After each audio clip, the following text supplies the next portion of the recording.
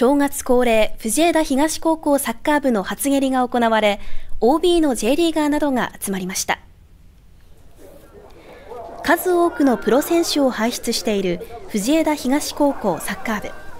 今年の初蹴りには、ジュビロ磐田の山田裕樹選手や、アスルクラロ沼津の中山雅史監督など、多くの OB が集まりました。現役高校生チームと OB チームとの対戦試合では、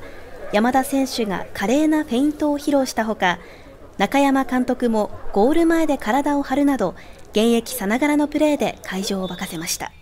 えー、今年は本当にあのクラブとして大切な1年になると思っています。あの